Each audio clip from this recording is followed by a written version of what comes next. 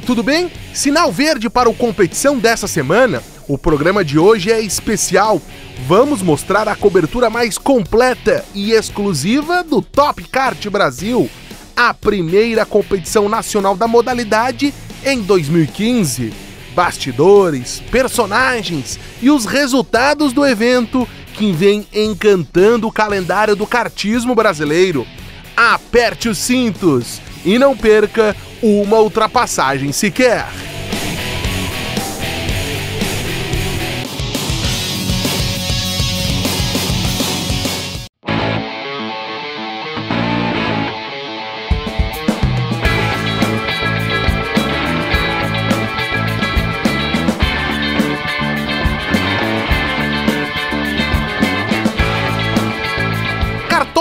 Beto Carreiro World, cidade de Penha, litoral de Santa Catarina, palco da etapa única do Top Kart Brasil, a primeira competição nacional de 2015. O conceito do Top Kart é oferecer ao piloto uma competição extremamente bem organizada, que cumpra horários, que cumpra regulamentos 100%, que só é realizada em pistas onde tem um conforto para os seus familiares, para o piloto. É um evento bem organizado que vem complementar algumas lacunas que, que tinham, é, complementa o nosso kartismo.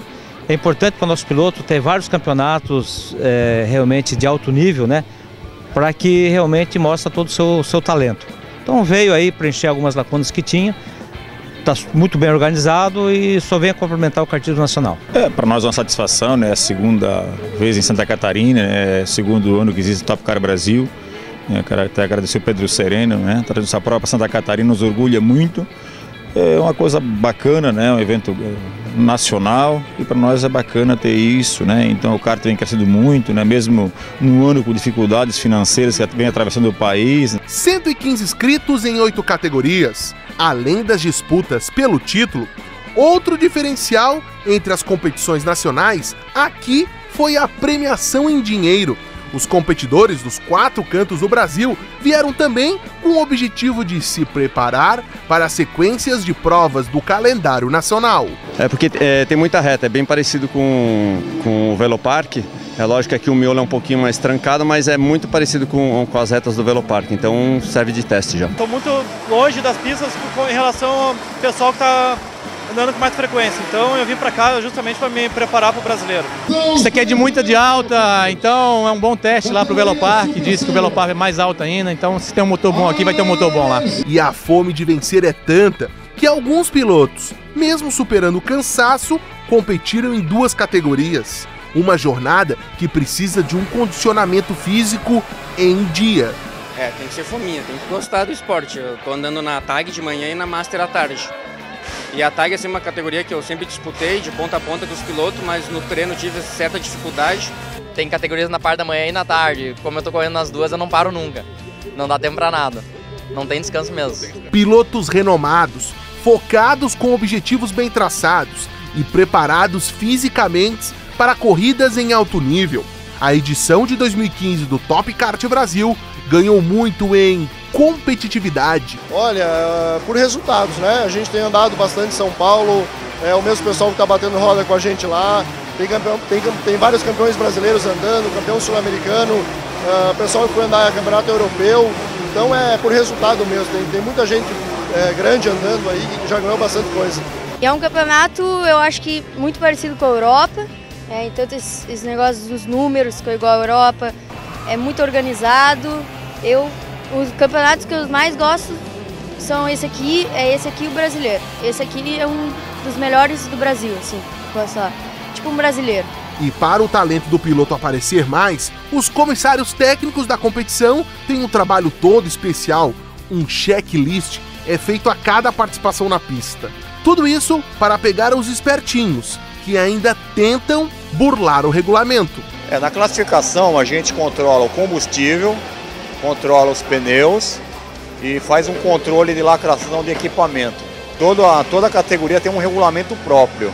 Esse regulamento tem que ser cumprido à risca, né? Porque para a, ser resolvido na pista. até um argentino que foi premiado na competição em seu país com um incentivo para participar do Top Kart Brasil, veio competir em terras brasileiras. A organização muito linda, muito, muito buena. E, bueno, o cartódromo também, o trazado é muito lindo, por aí há alguns lugares que não não está muito bem o asfalto, mas muito lindo o tra traçado. Foram três dias de evento, onde os competidores andaram forte no traçado de 1.244 metros do belíssimo cartódromo do Beto Carreiro World, uma referência mundial, onde a programação foi extensa. Quinta-feira a gente tem 5, 6 treinos de 10 minutos.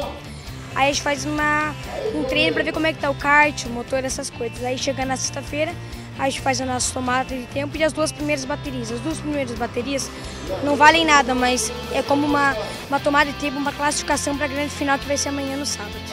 Para que, que servem esses classificatórios assim? O que, que tu consegue tirar dessas duas corridas? Bem, então, além de buscar um melhor posicionamento para a final, né? Dá para tirar o máximo do acerto do kart, porque tu vai vendo como a pista muda, como ele vai se comportar numa situação de corrida porque uma coisa é treino, tu tá andando sozinho ali, tu consegue fazer andar sozinho numa boa. Agora, corrida sempre vai ter alguém junto. Então tu consegue ver como o kart se comporta nas situações e tirar um referencial também dos outros pilotos, como eles estão andando, como eles, como tá o kart deles, se eles estão melhor de reta, de contorno. Então é bom para fazer uma boa análise tanto do teu equipamento quanto dos outros para se preparar melhor para a final. Vencer um classificatório significa o quê? Sabendo que tem uma grande final ali. Ah, é uma grande vantagem, né? Que eu me classifiquei bem para largar na final. A gente estava testando os equipamentos assim. É, carburador, filtro, eu ver o chão do carro para ver se não está escorregando muito, assim. Além do ajuste na parte mecânica, os treinos ou as corridas classificatórias servem para os coachings e os chefes de equipes aperfeiçoarem a pilotagem do seu pupilo dentro das pistas. Quanto melhor o feedback que ele trouxer, melhor. O coach ele fica mais na parte técnica de pilotagem, de como fazer uma curva. E a parte do, do, do chefe de equipe, que seria no meu caso, é cuidar mais da parte do comportamento do chassi na pista, se pegar trechos, se vem melhor de reto. E o pai, na verdade, é assim, é mais ali para poder emocional, acompanhar mais o filho, estar tá ali do lado para dar uma força, tudo. Ele é bom porque durante a corrida ele vê os meus erros e ele tenta corrigir depois da corrida. Acho que um coach serve para te dar apoio antes da corrida e falar o que você deve fazer e para depois da corrida corrigir seus erros.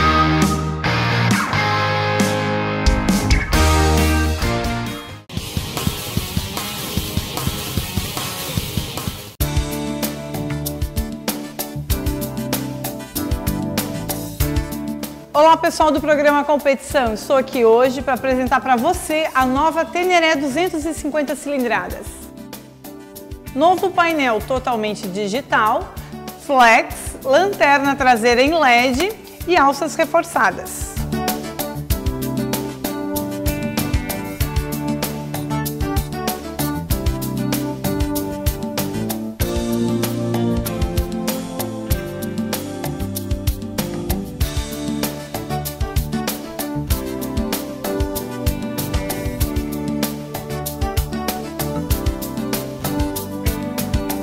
Até uma de nossas lojas conferir os modelos disponíveis na condição de juro zero.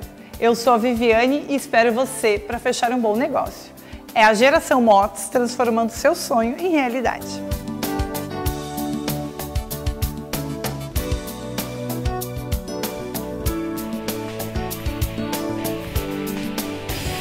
No próximo bloco, vamos mostrar como foram as corridas que consagraram os primeiros campeões nacionais de 2015 na competição mais simpática do kartismo brasileiro, o Top Kart Brasil.